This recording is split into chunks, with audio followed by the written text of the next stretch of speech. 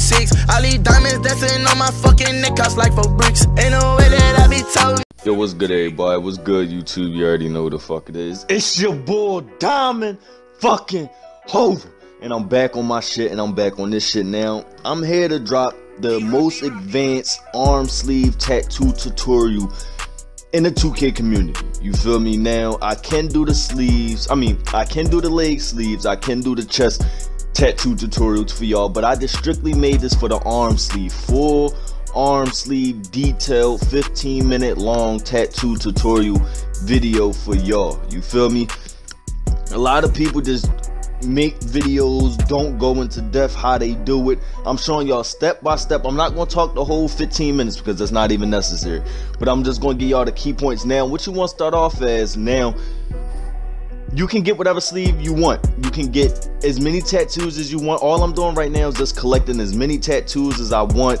The tattoos that I think will look right on the body. It doesn't mean that you have to use every single one that you pick out. You could pick out every tattoo damn near possible. I think that you can max out the cart with like 100 tattoos. You can fuck around pick 100 tattoos but it doesn't mean that you have to use all 100 tattoos so right now what i'm doing is just going through the tattoos that i think look nice that will merge with each other so you have to get a variety of colored tattoos and a variety of black tattoos. Like I say in every tattoo tutorial, you don't want to look like a Crayola marker and you don't want to look like a all black Sharpie. So you have to mix and and combine the colors you feel me so right now what i'm doing like i told you i'm just getting a whole bunch of tattoos the ones that look nice ones that i think may be able to be used ones that might merge shit that's gonna look right you feel me so just get all the tattoos that you want now, in this spot right here, all the ones that you're picking doesn't mean that it's gonna show you the VC. It doesn't mean that they're gonna make you buy all that shit. And I'm gonna show you how much the end of the at the end of the video, I'm gonna show you how much all this shit costs. I think it costs around, excuse me, I think it costs around like 80 to 90,000 VC, but it's full def. And if you like the final product, look, the best shit in the world costs some money. I, I ain't look. I gave you a full def tattoo tutorial for the arm sleeves for everything so it's gonna cost you something but look it costs to be the boss you feel me now for the NBA tattoos I really didn't even feel like getting an NBA tattoo so I just chose the Pelicans with that one it was, was kind of ass now I have my big man to a 93 overall, just to get off topic real quick because I'm just still going through the tattoos. I have a 93 overall big man. I have my 95 overall playmaking shot creator, and then I have a 90 overall pure sharp. If y'all would like some pro am gameplay or more streams, get this video to about 50 likes. Now, if you want the full body and the legs with new arm tattoo tutorial, get this video to 70 80 likes.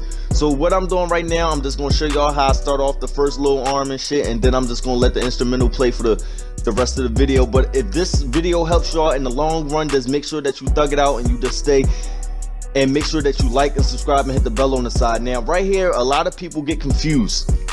When you hit Y and it says unlock ratio right now, like if you hit Y or triangle right now, that is going to allow you to scale the shit. Scaling means you can go bigger in length or the width. Now, when it says lock ratio, that means that you can rotate it clockwise or counterclockwise. You feel me?